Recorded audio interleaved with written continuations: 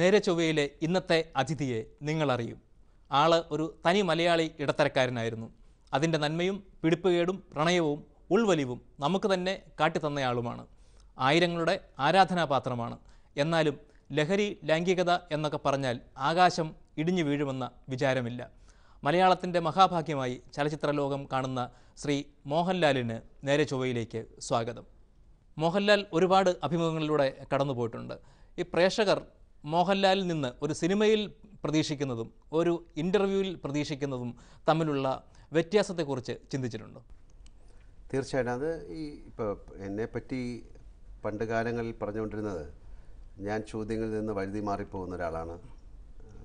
വളരെ ഷൈ ആയിട്ടുള്ള ആളാണ്. ഇത് രണ്ടും സത്യമാണ്.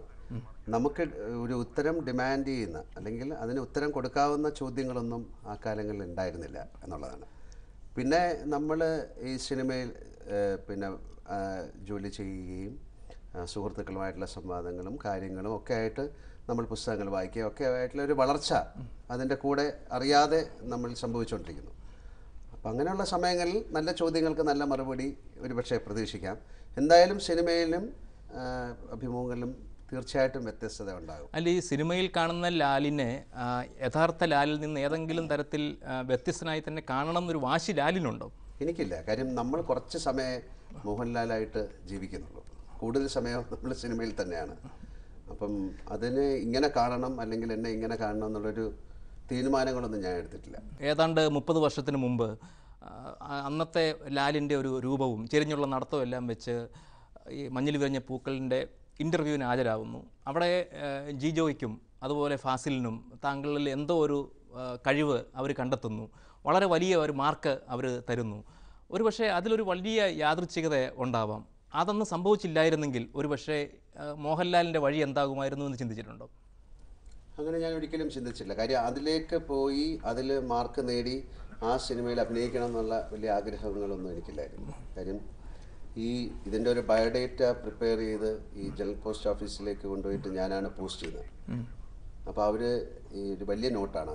പത്ത് രൂപ നോട്ടായതുകൊണ്ട് അവരൊന്ന് ചില്ലറ വാങ്ങിച്ചുകൊണ്ട് വേടാന്ന് പറഞ്ഞിട്ട് ഞാനിത് അയച്ചു എന്ന് എന്റെ കൂട്ടുകാരോട് കള്ളം പറയുമായിരുന്നു പിന്നെ അവർ സ്കൂട്ടറിന്റെ ബാഗിൽ കണ്ടിട്ട് രണ്ടാമത് കൊണ്ട് അയക്കുകയായിരുന്നു. അപ്പം നമ്മൾ വൈ ഇത് ഇത് എന്താ ചോസൻ വൺ എന്നൊക്കെ പറയുന്ന പോലെ ഒരുപക്ഷെ സിനിമയിൽ തന്നെ അഭിനയിക്കാനായിരിക്കാം എന്റെ വിധി എന്ന് ഞാൻ വിശ്വസിക്കുന്നു. അല്ല അങ്ങനെ ഈ വിധിയിലൊക്കെ വലിയ വിശ്വാസമുള്ള ആളാണ് എന്ന് പറയുന്നത് ഒരു ഒരു ഞാൻ പറയുന്നത് അതൊരു വാക്കായിട്ട് ഉപയോഗിച്ചതേ ഉള്ളൂ. അല്ലാതെ നമുക്ക് ഒരു ഹാപ്പനിങ്ങിൽ വിശ്വസിക്കുന്ന ഒരാളാണ് ഞാൻ. അത് സംഭവിക്കണം. ഒരു കാര്യം സംഭവിക്കാതെ അതിനെക്കുറിച്ച് വ്യാകുലപ്പെടുക?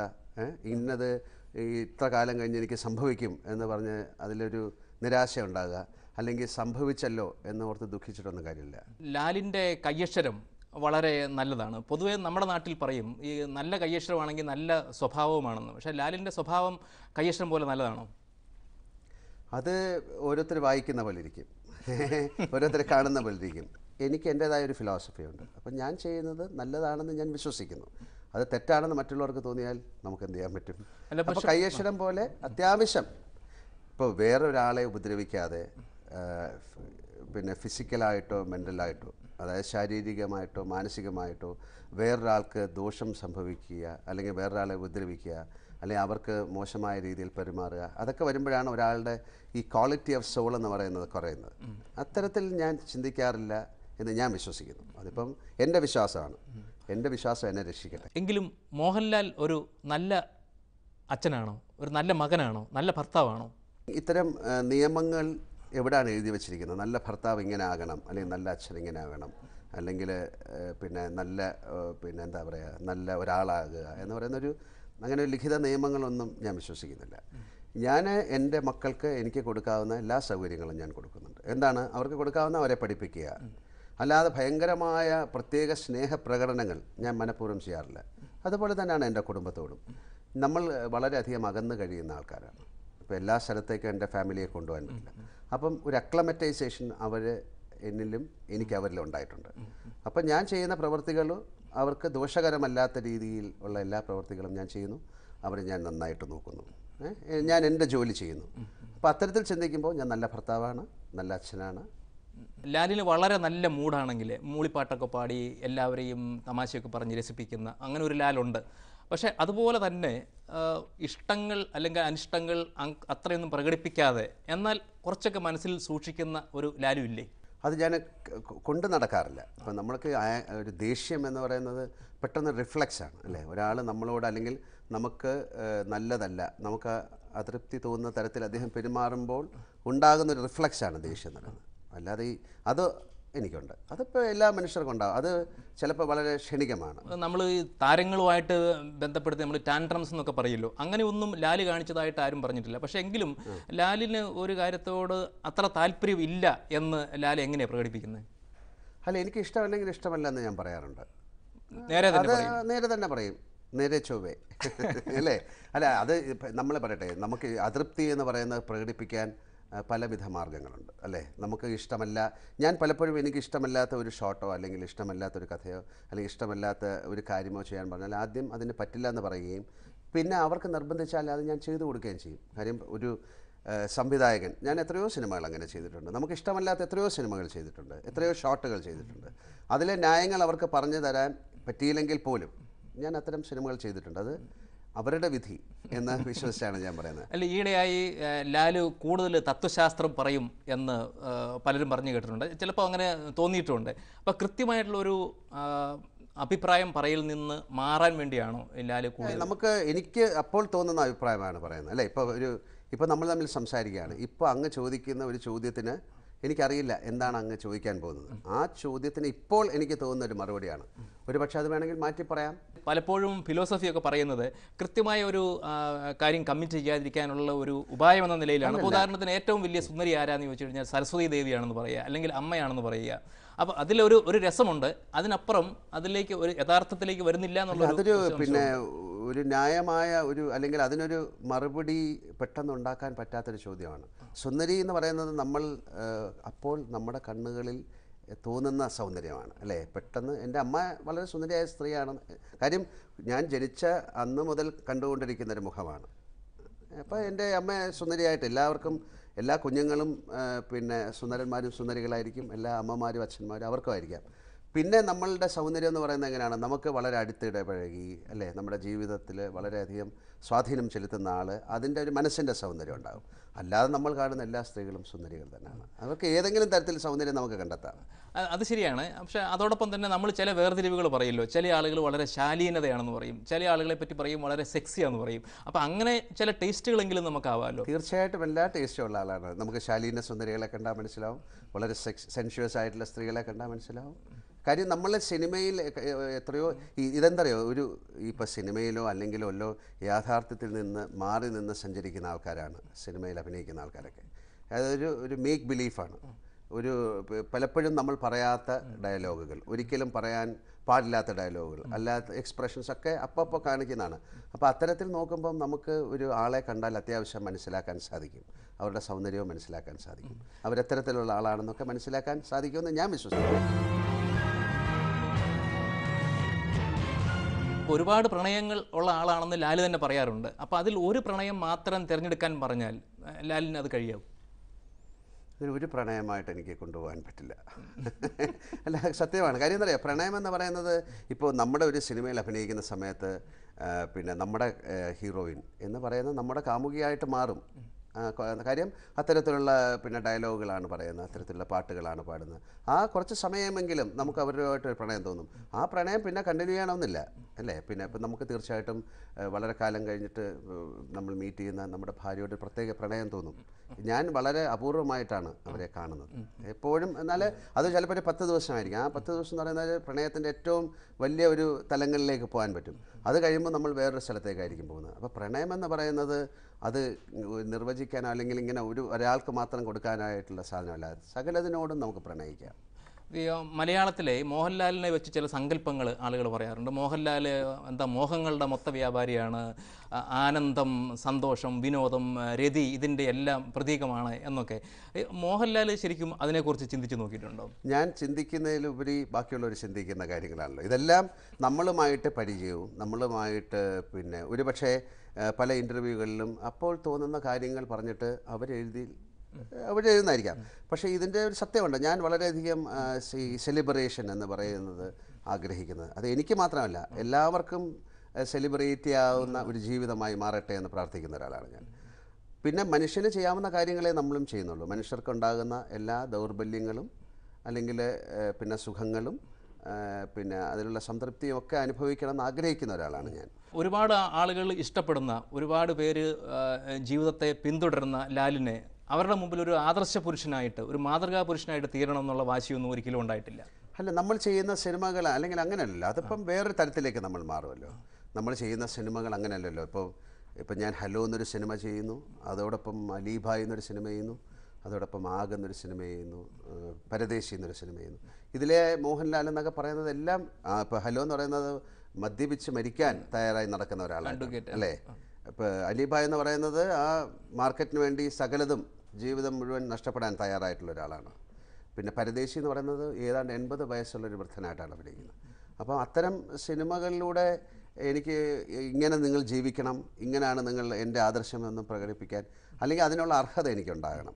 അപ്പോൾ അത്തരം അർഹതയുള്ള ഒരാളല്ല ഞാൻ.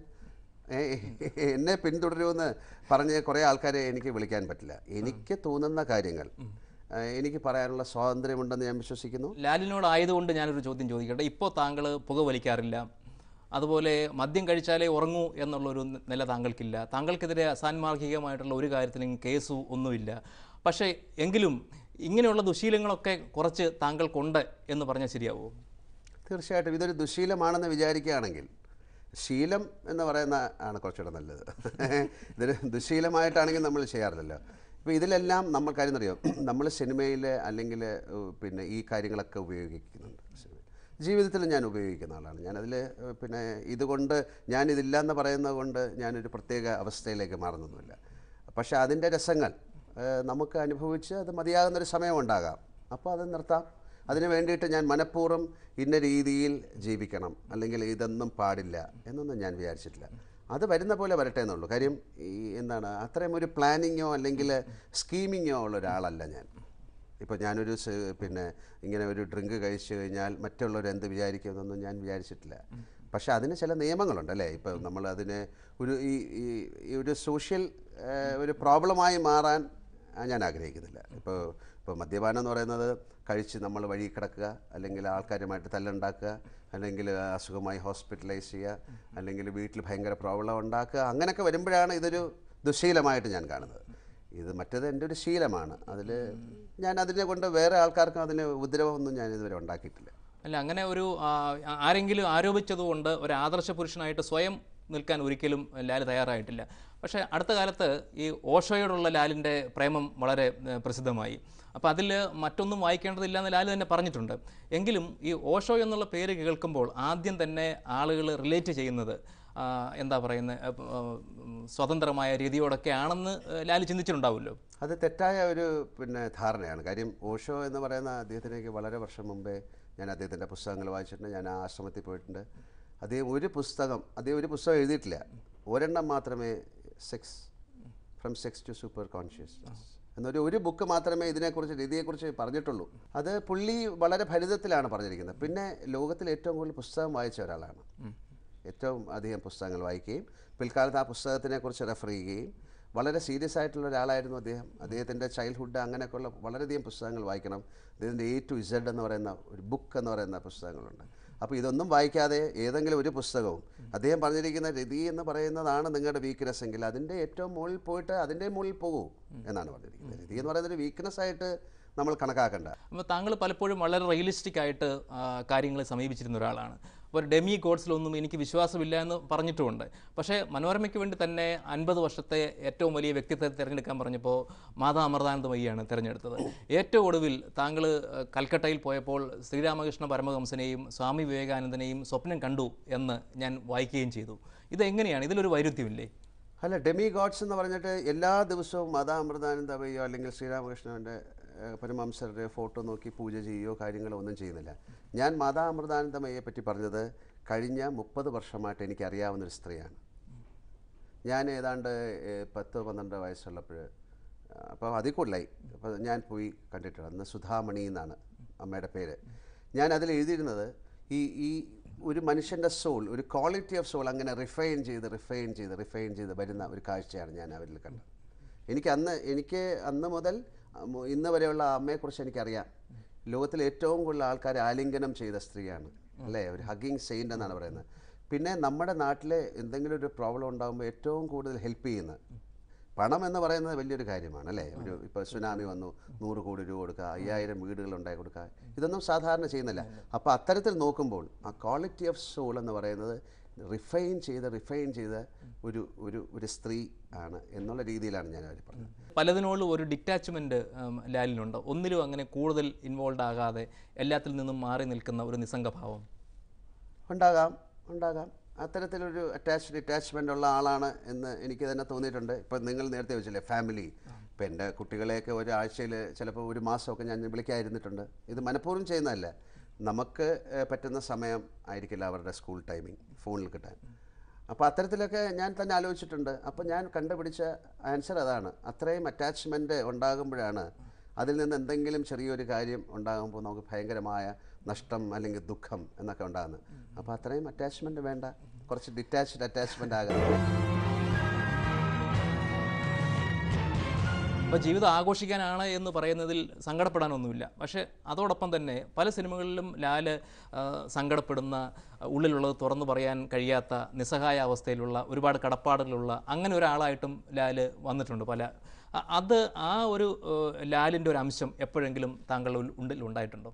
ജീവിതത്തിൽ അങ്ങനെയുള്ള സന്ദർഭങ്ങൾ ഉണ്ടായിട്ടുണ്ടാകാം. നമുക്ക് പറയാൻ പാടില്ലാത്ത കാര്യങ്ങൾ നമ്മൾ മനസ്സിൽ സൂക്ഷിക്കും.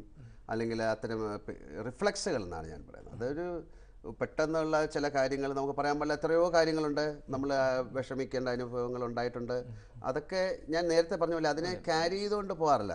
അല്ലാതെ ഇപ്പം ഇപ്പം ഞാൻ പറയാം എന്റെ ജ്യേഷ്ഠൻ മരിച്ചു പോയിട്ടുണ്ട് എന്റെ അച്ഛൻ മരിച്ചു പോയിട്ടുണ്ട് എന്റെ അപ്പൻ അമ്മുമ്മയൊക്കെ മരിച്ചു പോയിട്ടുണ്ട്. അതുകൊണ്ട് ആ കാര്യങ്ങൾ മാത്രം ഞാൻ എപ്പോഴും മനസ്സിൽ സൂക്ഷിച്ചുകൊണ്ട് ഇങ്ങനെ നടക്കുകയാണെങ്കിൽ അതിൽ കാര്യമില്ലെന്ന് വിശ്വസിക്കുന്നു. സാമൂഹിക സ്വീകാര്യത ഇല്ലാത്ത പരസ്യങ്ങളിൽ താങ്കൾ അഭിനയിച്ചതിനെ കുറിച്ച് അടുത്ത കാലത്ത് കുറച്ച് വിവാദങ്ങളൊക്കെ ഉണ്ടായിരുന്നു.